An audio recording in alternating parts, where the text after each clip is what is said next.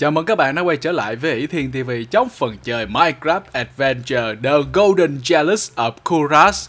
Trong tập trước chúng ta đã được yêu cầu phải đi tới một thành phố mang tên là Shawshire để có thể đáp một chuyến bay đi tới một cái thành phố khác. Mà cái Shawshire này chúng ta không dịch chuyển tới được, chỉ có thể sử dụng xe ngựa mà thôi. Thì những lần trước mình cứ ngỡ một k N là 1K nấc dịch, nghĩa là 1.000 cái nứt dịch nhưng mà có thể nó chỉ là một cái Kuras nứt dịch mà thôi. Cái vấn đề này là do tác giả gây ra sự hiểu lầm. Nên chúng ta hãy thử coi. Ok, chúng ta có thể chọn được vị trí cần tới. Và so sai nó đây. Chúng ta đã tới được nơi đây. À cái chỗ này ở bên ngoài thành phố hả? Giờ hãy nhìn xa xa ở phía kia. Có một cái màu đỏ. Ta chạy là đẳng xem thử.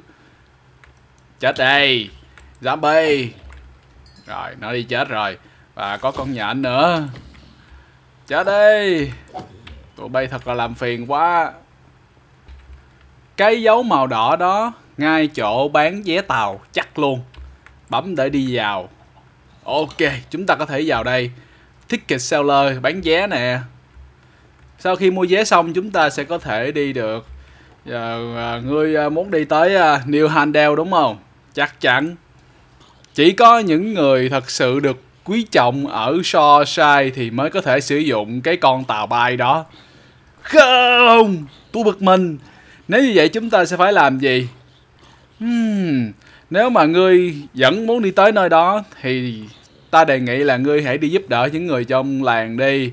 Và nếu ờ, sau khi ngươi giúp đỡ xong hãy quay lại đây. Và có được cái lòng tin từ phía họ thì ngươi sẽ tới được New Handel. Hãy xem thử coi cần phải giúp bao nhiêu người. Ngươi chỉ cần giúp từ 2 tới 3 người là đủ. Như vậy chúng ta sẽ cần phải tăng cái reputation ở đây lên. Đấy, cái cửa này. Và mình đang thấy có một cái nhiệm vụ ở bên trái, một cái bên đó, hai cái bên trái chưa? Và chúng ta sẽ giúp hai cái nhà này đi ha. Chết đi zombie. Sao tụi bay cứ theo ám tao hoài vậy? Chúng ta hãy coi đường vào ở đâu. Chúng ta giúp cái nhà này làm cái gì đây? Tree, good side. Và cô nàng này cần làm gì? Này. Kẻ lạ mặt không được quan ngân ở đây. Ra khỏi nhà ta đi. Có vẻ như chúng ta không được quan ngân cho lắm. Và được yêu cầu ra khỏi nhà. Hmm. Và chúng ta sẽ cần phải tìm một người khác. Mình đã phải đi tìm hiểu tại sao chúng ta cần phải quan trọng cái chuyện reputation bởi vì như cái cô hồi nãy do reputation chúng ta có thể là không đủ hoặc là cô ta đang quá là bực tức cái gì đó nên không có giao nhiệm vụ gì cả. Nhưng mà cái reputation nó rất là tiện lợi. Khi mà, reputation của mình cao á thì mình có thể mua đồ ở trong cái thành phố đó rẻ hơn. Và một cái nữa là những cái người mà chúng ta trước đây không có nhiệm vụ á thì họ sẽ có nhiệm vụ. Ví dụ như cô này có nói được không? Dolly Morgan. À, cái gì? À ngươi là cái tên uh, lạ mặt mà ta nghe đó ta nghe thấy nghe tên ta được biết tới đó à bây giờ uh, ngươi hãy đi cút xéo ra khỏi nhà luôn lại một lần nữa uhm.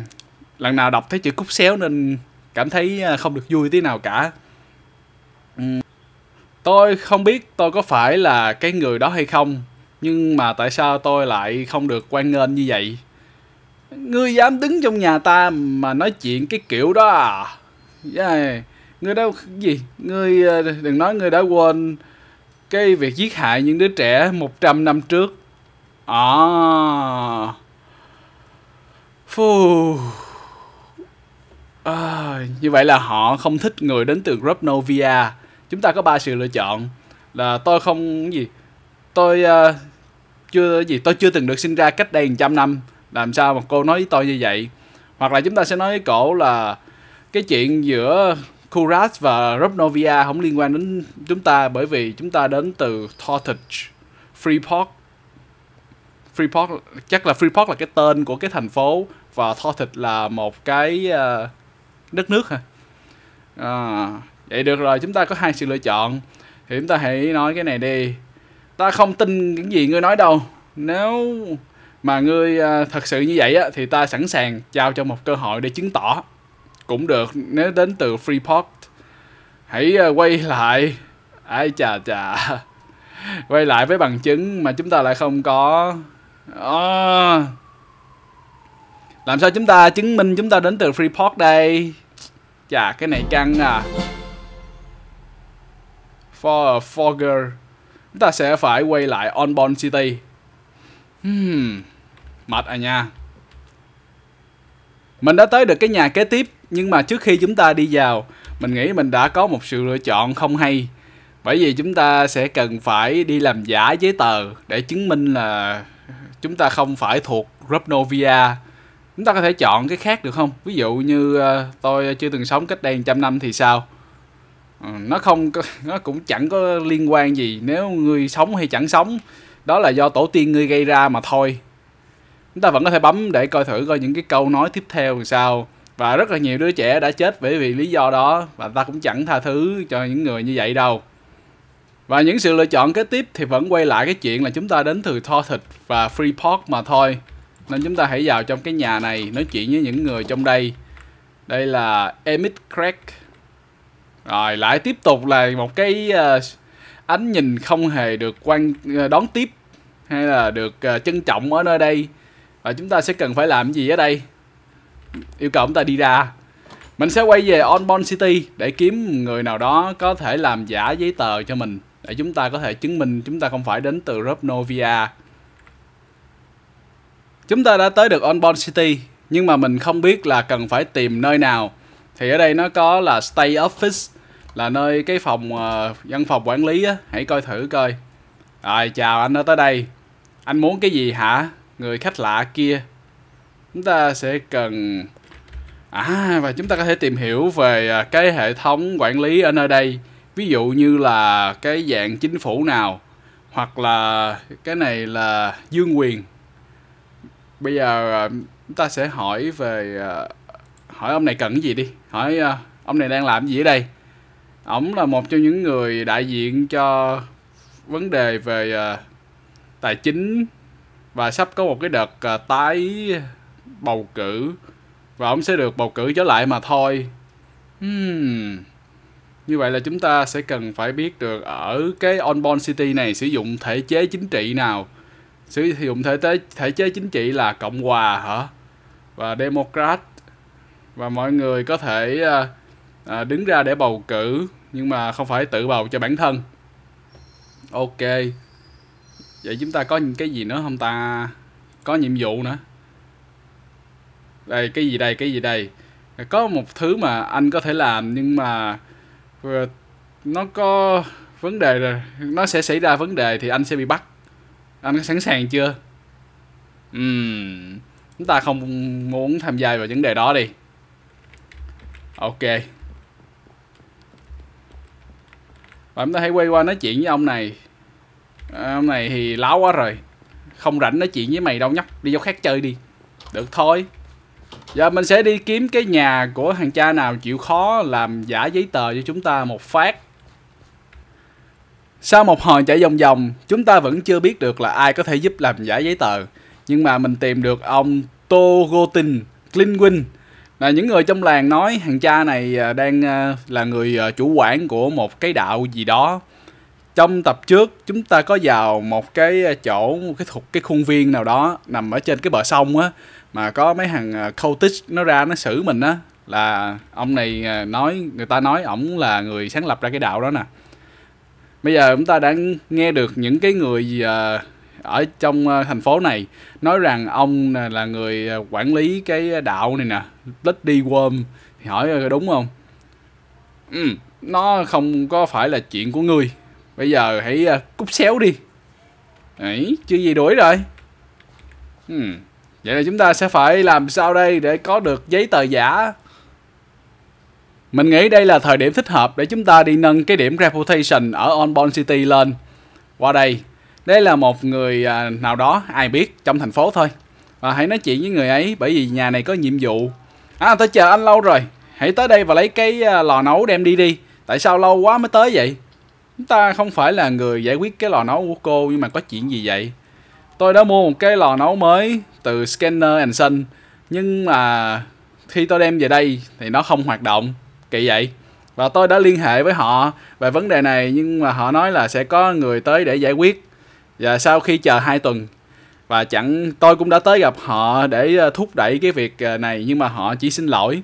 Rồi ờ, họ nói là sẽ đưa người tới, nhưng mà sau một tuần nữa chẳng thấy ai cả.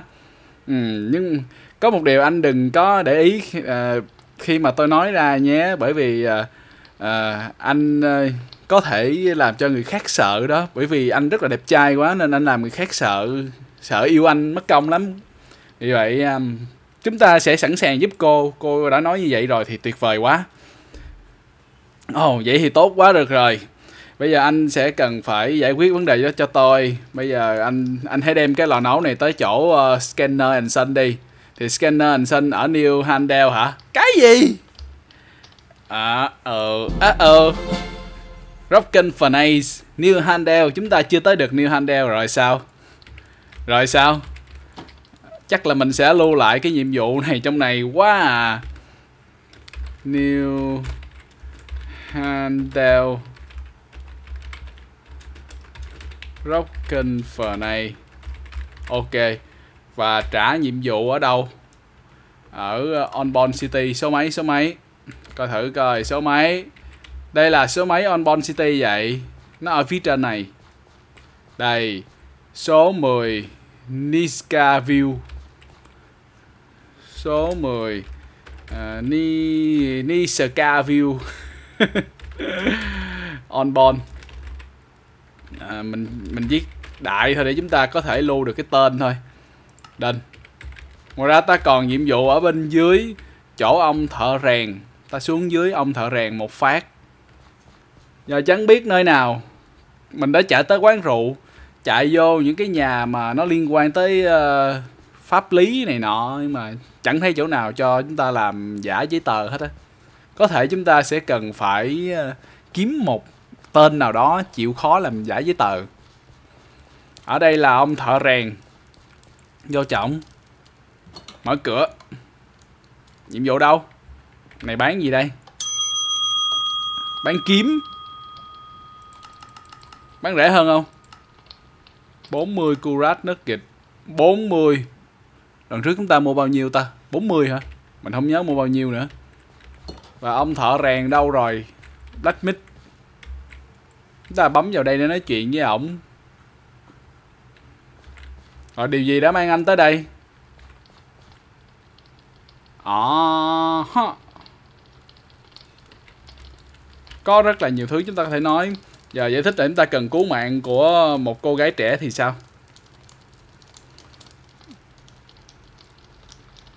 Rồi và ổng nghĩ ra ổng sẽ có một cái vài chuyện một vài chuyện cần nói.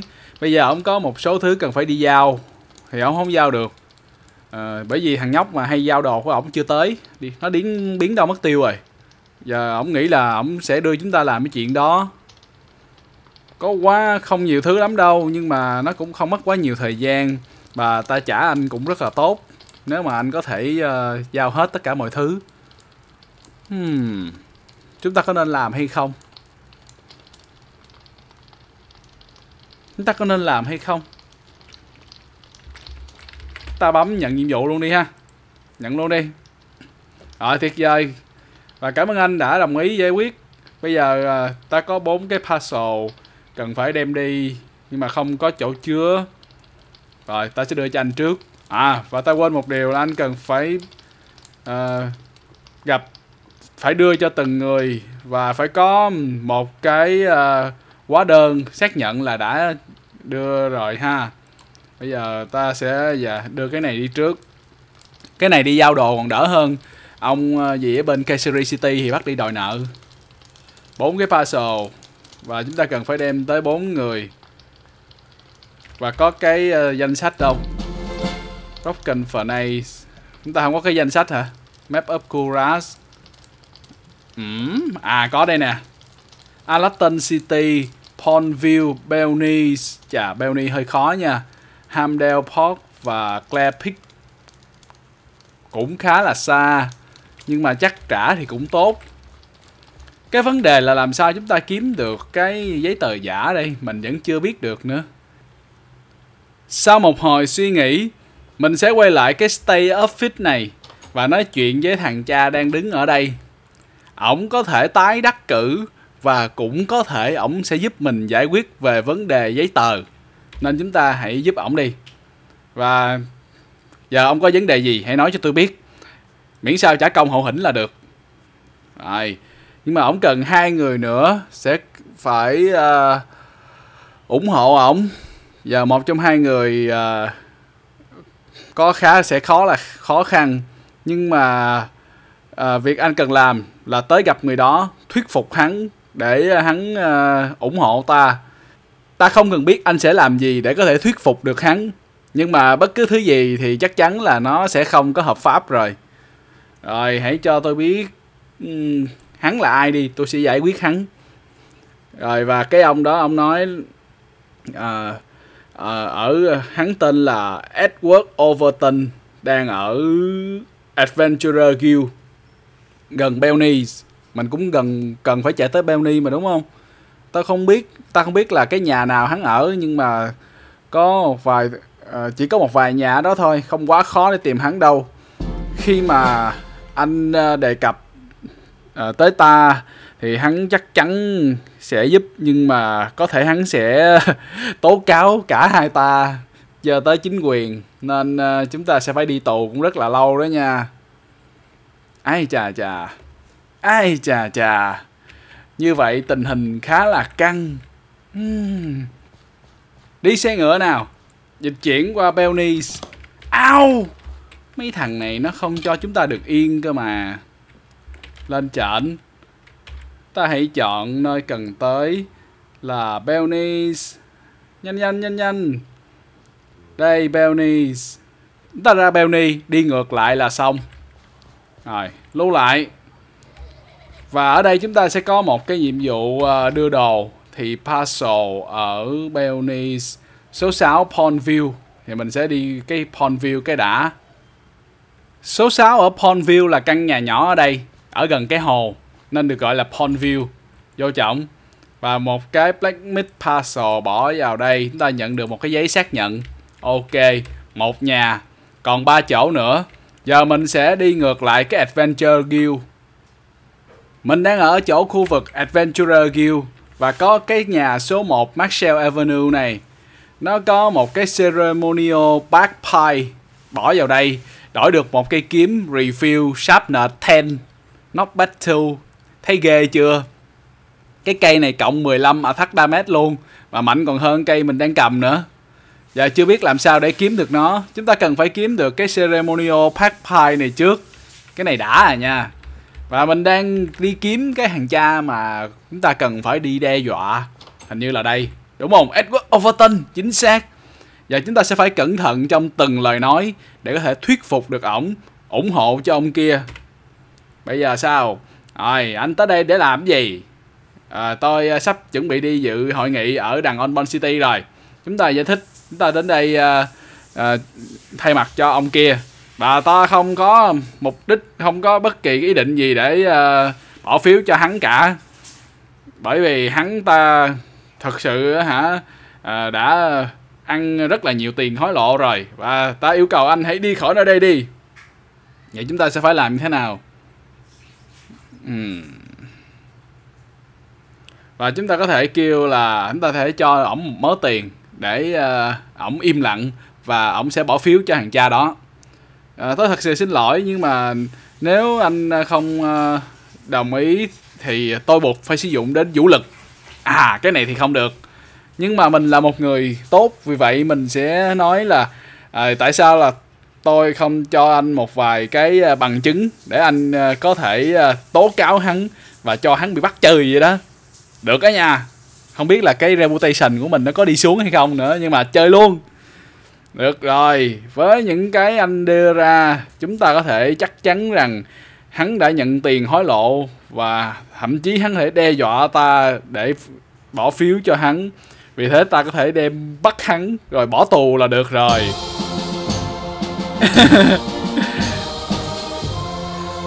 Ok, anh thật là một người tốt, đã giúp đỡ cái ờ, đất nước này. Vì thế ờ, cảm ơn anh rất là nhiều anh bạn à bây giờ chúng ta sẽ viết lại hết toàn bộ những thứ mà ông kia nói. Giờ chúng ta nói chuyện lại một lần nữa xem. Rồi, ok. Chúng ta đã ừ, được rồi thì quá tốt rồi. Chúng ta sẽ tố cáo ông cha nội đó. Bởi vì à, hắn là một người xấu, nên tố cáo. Giờ mình sẽ vào trong này coi thử. Adventurer guild này nó có cái gì hay không? Đầu tiên là có con zombie đứng giữ cửa. Đúng chất luôn khi mà adventurer guild là nơi chúng ta có thể đi vô kiếm những cái nhiệm vụ này nọ đó mà mở cửa bên này xem sao. Chỉ có thành viên mới được vào. Làm sao để biến được làm thành viên? À, membership officer. Rồi xin chào anh bạn. Anh có muốn tham gia vào hội không? Nếu tham gia vào hội thì có lợi ích gì đúng không? Ừ, ông làm gì ở đây? Chúng ta là những thành viên uh, của câu lạc bộ này và chúng ta cung cấp dịch vụ cho những người giàu khi họ cần và không cần hỏi lý do. À, và những thành viên của cái hội sẽ làm những công việc mà được đưa để ờ, thay vào đó họ sẽ được nhận tiền. Và những cái ờ, token token là cái gì thì chưa biết. À, token có thể sử dụng tại những cái shop để đổi những cái món đồ khác. Nhìn anh chắc cũng giỏi lắm ha. Anh có muốn tham gia vào không? Ừ, chúng ta có được token thì để làm gì? Chúng ta hỏi có được token làm gì? À, làm sao để kiếm được token nữa đó? Ngoài cái việc làm nhiệm vụ uh, thay uh, uh, cho cái hội thì anh sẽ nhận được token cho mỗi một lần anh tham gia cái guild dungeon. Ta có thể đi đánh dungeon nữa hả? Vui vậy. Chúng ta làm những cái này để có thể uh, luyện tập hay huấn luyện những thành viên trong hội để trở nên mạnh hơn nhưng mà ta phải nói với anh rằng á một khi anh đã bước vào trọng là anh phải đánh từ đầu tới cuối mới được đi ra không có bỏ dở nữa chừng à. Cái đinh gân thì nằm ở bên dưới. Ừ, cũng được. Vậy vậy chúng ta sẽ phải tốn bao nhiêu để tham gia? Chỉ có những ai được mời thì có thể tham gia thôi và không có lệ phí để tham gia. Ghê vậy. Rồi anh muốn vô không? Ừ, mình đang suy nghĩ. Rồi vậy trong này bán món gì? Ê ê ê chưa mà bấm lộn rồi. Bán rất là nhiều thứ từ thức ăn nước uống rồi tới thuốc men rồi vũ khí đạn dược áo giáp gì đó. Rồi muốn tham gia không? À, à, à, à, à. vậy là chúng ta sẽ tham gia. Bởi vì hồi nãy mình bấm lộn cái câu I think pass nè nên nó không có cái à, phần accept. Rồi tôi muốn tham gia. Được đó. Bây giờ đi vô trọng và làm à, những cái à, công việc giấy tờ trước đi bởi vì anh sẽ phải điền một đống giấy để xác nhận rằng anh đã tham gia vào hội. Không có lâu đâu. Rồi sắp xong rồi đó. Bây giờ mọi thứ đã sẵn sàng. Chào mừng anh đã tới adventurer guild.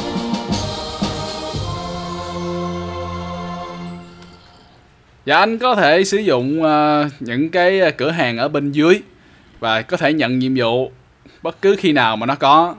Rồi cần cái gì nữa không? Và tại sao tôi không được lên lầu? Chỉ có những thành viên đã giải quyết được 10 cái nhiệm vụ thì mới được lên lầu. Uhm, 10 nhiệm vụ. Và bây giờ tôi muốn nhận nhiệm vụ thì sao? À, bây giờ thì không có nhiệm vụ nào cả nhưng mà sẽ có sớm thôi. Còn vấn đề gì nữa không? Ok không có thì thôi từ từ tính.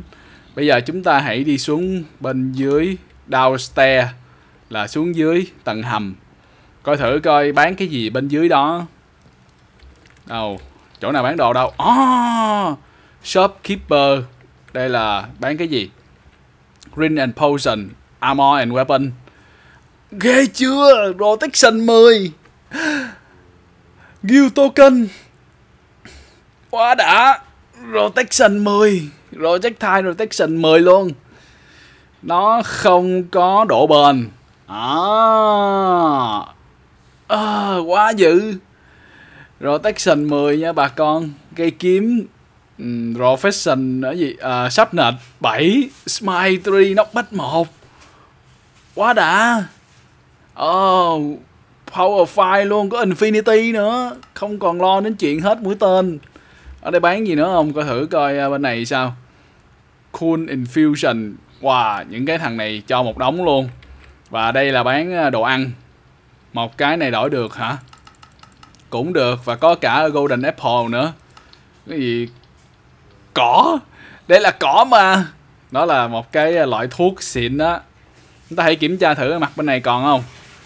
À mặt bên này là nơi chúng ta có thể đi xuống những cái đinh gân để có thể luyện tập. Uhm. Uhm. vì sao có con zombie ở đây vậy? Chúng ta có cần phải chặt zombie vậy không ta? Chắc là chúng ta sẽ để một ngày khác rồi tham gia luyện tập đi ha mình thấy ờ, ngon quá chừng luôn. Và hãy coi lại một phát, làm sao chúng ta kiếm được những cái token. Ta có thể kiếm cái token complete ờ, a Gilden Gun. Như vậy là một ngày khác chúng ta sẽ cần phải hoàn thành cái Gilden Gun này. Bây giờ chúng ta phải làm gì nữa? Quay về Onborn City. Giờ ta hãy kiểm tra xem cái ông mà hồi nãy kêu mình đi uy hiếp người khác còn mà có mặt ở đây hay không. Đã biến mất, chắc là đi tù rồi. Và hãy nói chuyện với ông ở giữa à, thằng cha này lại tiếp tục là quá bận biệu để có thể nói chuyện giờ ông muốn cái gì đây Hmm. Và ở trên đó cũng đã biến mất cái dấu màu vàng luôn rồi. Chúng ta sẽ phải đi tìm một nơi nào đó để làm giả giấy tờ mà kiếm hoài chưa thấy. Thiệt là khổ quá đi mà. Ở bên kia sông có một cái nhiệm vụ, hãy qua lấy và có một cái thuyền kìa. Tuyệt vời vậy. Chúng ta đập cái thuyền ra được không? À, được luôn. Vậy là sau này chúng ta thể đi bằng đường sông rất là dễ dàng. Quá đã nói chuyện với Nora Whitesmith xem thử coi nhiệm vụ gì đây. Ê, chào anh bạn. Anh là một cái uh... anh là một kẻ mà nhìn vào là thấy chướng mắt rồi đó. Anh có biết tại sao không? Bởi vì uh, anh làm cho tất cả mọi cái đầu phải ngoảnh mặt lại nhìn anh khi anh đi qua đó. Và đừng có nói như vậy chứ. Nhưng mà cũng cảm ơn cô bởi vì đã nói như vậy. Bởi vì chúng ta được khen mà. Cô với tôi à. Đừng có ý định nào xấu xa. Tôi là một người đã có chồng rồi. Ok. Chỉ vì một hành động dại dột buông lời ve vãn bà này làm cho chúng ta bị giảm cái danh tiếng ở Onbon City. Và hiện tại là cái bà này đang có chồng. Mà chồng bà đi với bầu nhí rồi. Business trip là chỉ có đi với bầu nhí thôi ở Faran. vì vậy bà muốn chuẩn bị một món quà để là gây bất ngờ với chồng khi ổng quay về. Chúng ta sẽ phải đi kiếm blueberry honey. Cái này sẽ kiếm ở đâu? Nhưng mà chúng ta được 15 nấc dịch. Chúng ta giúp không? Có thể chúng ta sẽ nhận nhiệm vụ đi rồi tính sao ha. Tuyệt vời như vậy à, ta sẽ trả cho anh sau khi à, kiếm được nó và quay lại đây. Và blueberry ở đâu? Ừ, ta quay ra và đi tìm blueberry honey. Có một nhiệm vụ đã nhận vậy ai cho tôi cái giấy thông hành đi qua bên kia đây trong ngày hôm nay chúng ta đã mắc kẹt bởi một cái nhiệm vụ yêu cầu mình phải đi làm giả giấy tờ. Mình sẽ đi tìm hiểu coi chúng ta sẽ phải tới đâu để làm giả được cái mới giấy tờ đó ở Onbon City này. Còn bây giờ chúng ta sẽ tạm dừng tại đây và hẹn gặp lại các bạn trong những tập kế tiếp. Bye bye!